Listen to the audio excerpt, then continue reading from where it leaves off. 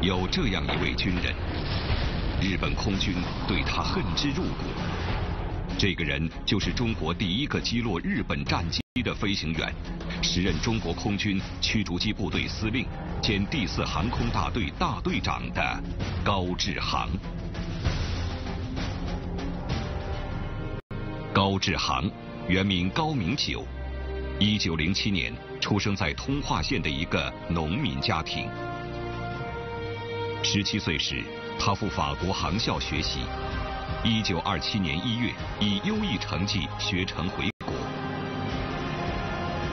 回国后，他通过自修，掌握了夜间不打灯起飞、倒飞和弧形飞行等飞行绝技，在国际上堪称一流。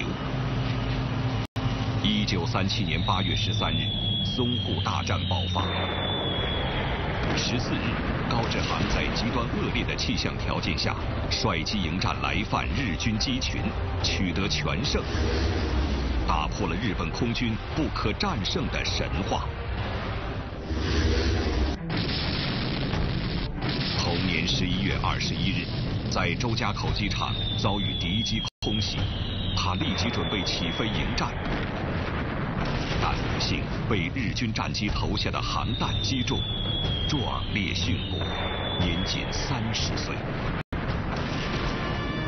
这位年轻的战鹰，虽然壮志未酬身先死，但是他给后人留下的是敢于担当、誓死报国的传奇。